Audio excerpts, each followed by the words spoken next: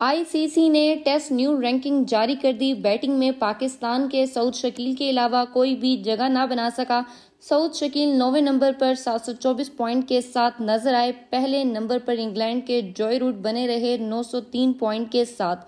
नाजीन test bowling ranking में भी पाकिस्तान के नुमान अली के अलावा कोई तीर ना मार सका। नुमान अली की बेहतरी सात पॉइंट के साथ नौवीं पोजीशन पर मौजूद।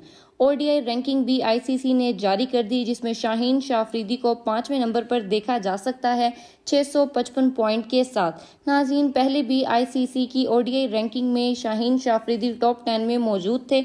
ओडीआई ऑलराउंडर की लिस्ट में पाकिस्तान काफ़ी अरसे से अपने किसी खिलाड़ी का नाम भी लिखवाने में कामयाब नहीं हुआ। इस बार भी पाकिस्तान का कोई खिलाड़ी टॉप टेन में जगह हासिल नहीं कर सका। ऑलराउंडर रैंकिंग में पाकिस्तान के साथ साथ इंडिया का भी कोई खिलाड़ी नज़र नहीं आया।